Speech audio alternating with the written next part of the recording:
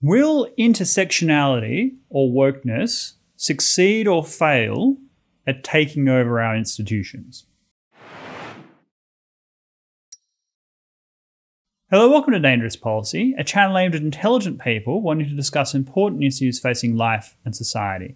My name is Crispin, and today I want to give an assessment of whether or not the current zeitgeist of intersectionality, critical race theory, wokeness, if you like, is going to permanently overturn those institutions of Western liberal democracy. And on the one hand, there are some obvious reasons to be pessimistic. It's completely taken over academia.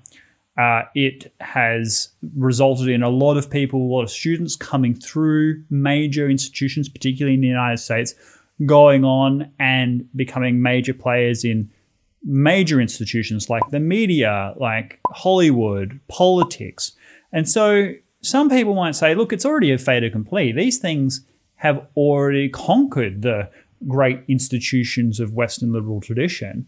And by that specifically, it is a, a philosophy and ideology that, that dictates that the world is primarily described as a relationship of intersectional power oppressions, where there is a hierarchy of individuals. Uh, at the top are like the trans black uh, woman who has been uh, oppressed and had her voice silenced because of a oppressive, gendered, heteronormative patriarchy. And at the, at the bottom of this uh, pyramid, if you like, is the heterosexual white male who is the oppressor uh, versus the oppressed. It's a neo Marxist philosophy that divides people based on their collective group identity over their individual um, personal sovereignty and says that you can uh, basically divide every relationship up into being either a victim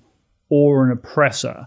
And that based on your intersectional points, if you like, determines how much of a victim you are and thus how much validity you have in terms of the redistribution of resources in that culture.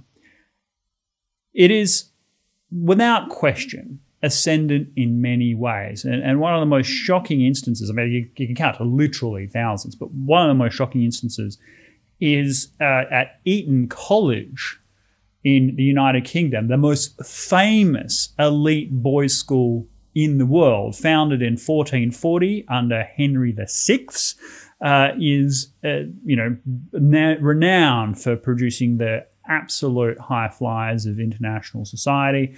Uh, a, a, lot, perhaps even a majority of British prime ministers, uh, certainly uh, you know Hollywood actors.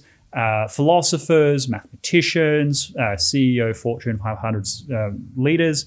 these are all, you know, Etonites.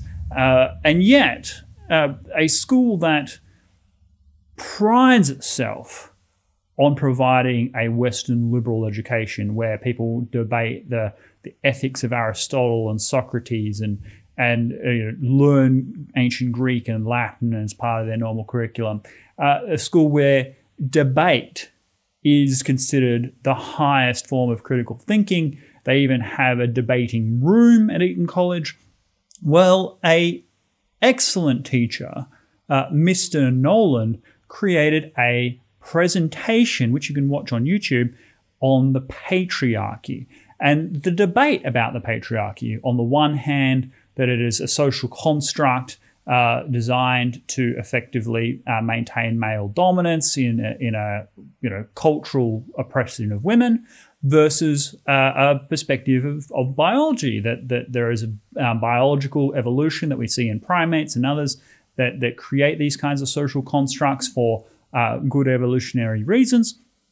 And Mr. Lowell was presenting that as a debate topic. You weren't supposed to be indoctrinated one way or the other uh, to encourage the students to argue okay, to what extent is a patriarchy a social construct or biological um, evolutionary psychology?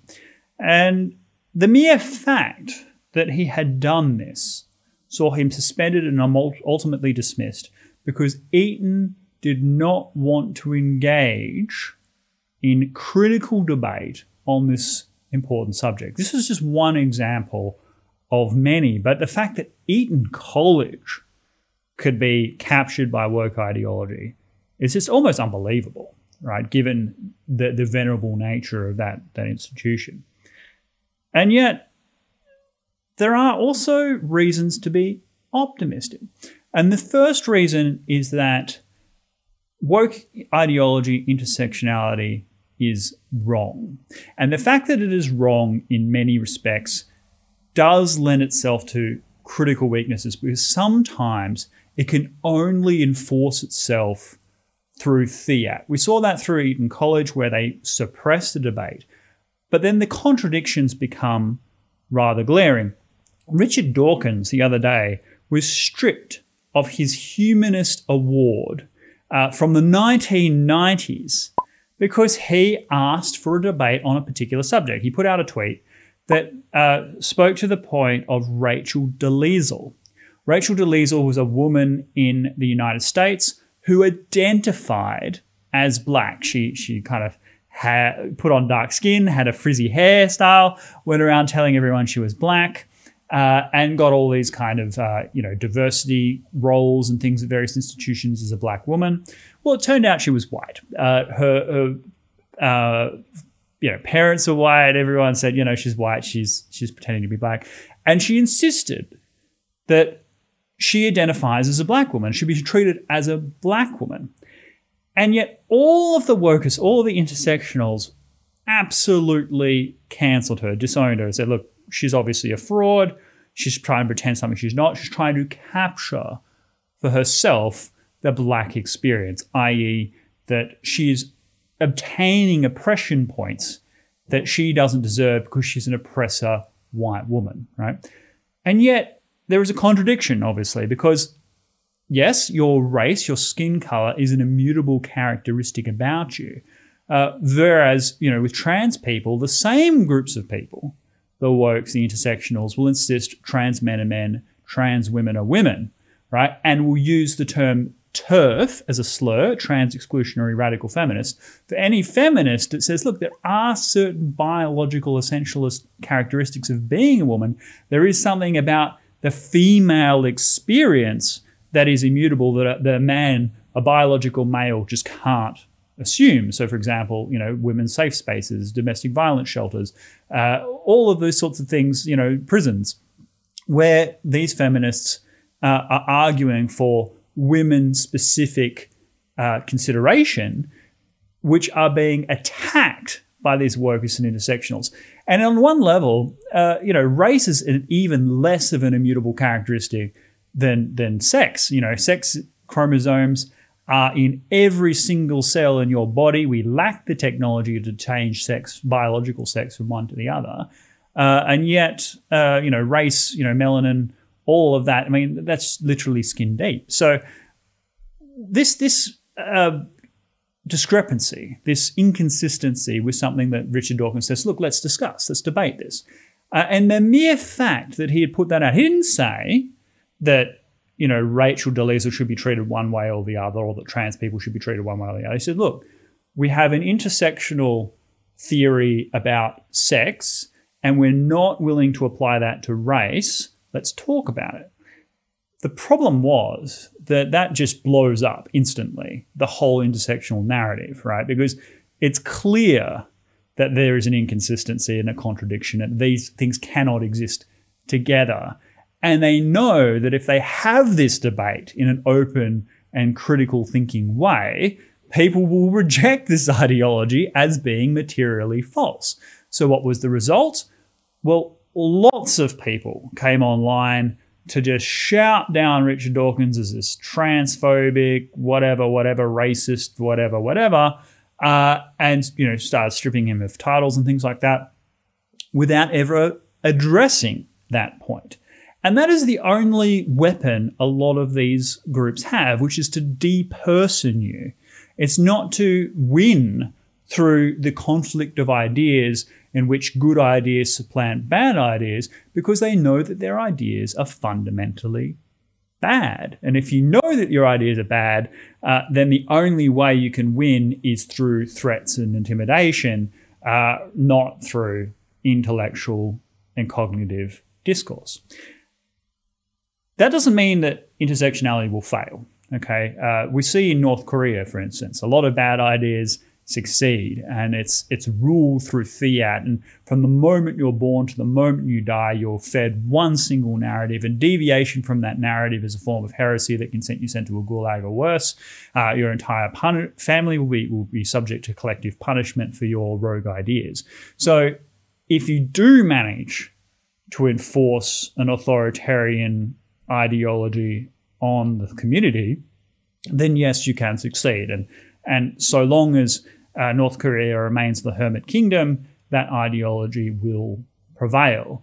Uh, the biggest fear that the North Korean regime has is that its people are exposed to ideas from the rest of the world and realize the fundamental lie that sits at the heart of their Juche philosophy. Whereas the, when we have uh, here in the West, uh, the same sort of thing is starting to prevail. We see censorship in big tech. We see censorship uh, within um, you know progressive politics. Uh, we see people being you know cancelled and attacked for stepping out of line from the ideology that is prevailing.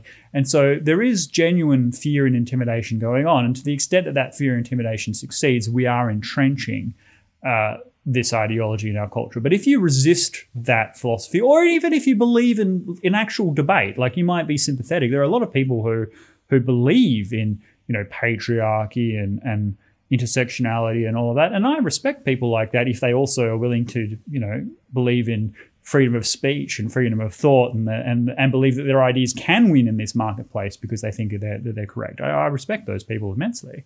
If they are unable to engage in that discourse, uh, and therefore uh, the only way they can win is through intimidation and threats. Well, every quiet yielding to that outcome is surrendering to the final victory of wokeism and intersectionality. My message to you is yes, you may get blowback for challenging this narrative, for engaging in critical thinking skills. But if there is one thing that Enlightenment tradition, the Western liberal tradition, has taught us, is that critical thinking is the highest form of progressive science. And the only way to engage in critical thinking, not critical race theory, critical thinking, is through a free exchange of ideas and questioning fundamental assumptions and presuppositions, such as are we living in a socially constructed patriarchy? Is intersectionality based on individual identity supreme or not? If not, what are the limits? If yes, what are the the prerequisites? Right, these things are all um, required for discussion. So hopefully you found value in this uh, series of examples. My own view is that uh, intersectionality will fail because we have too much of a free exchange of ideas. Uh, that I think has already peaked. I think it kind of peaked between 2013 and, and 2019. Uh, I think we're going to go through you know a period of renewal as people start to reject this. I think younger people coming through uh, are going out of their way to seek different perspectives and ideas. Uh, we see it through YouTubers like like this, um, and you know as long as it's done in a, in a you know appropriate and respectful way. Um, ultimately, the, the bad ideas will fail, and, and people will develop the sense of courage to you know overcome the threat of of being cancelled or being fired or or, or what have you, just to speak their truth and to speak their minds.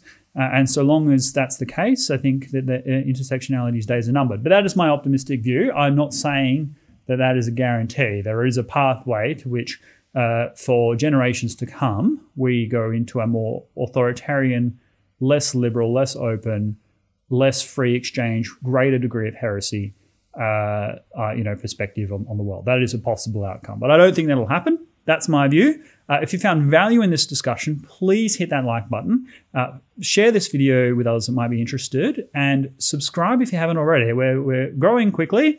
Uh, we're aiming for a thousand target very soon.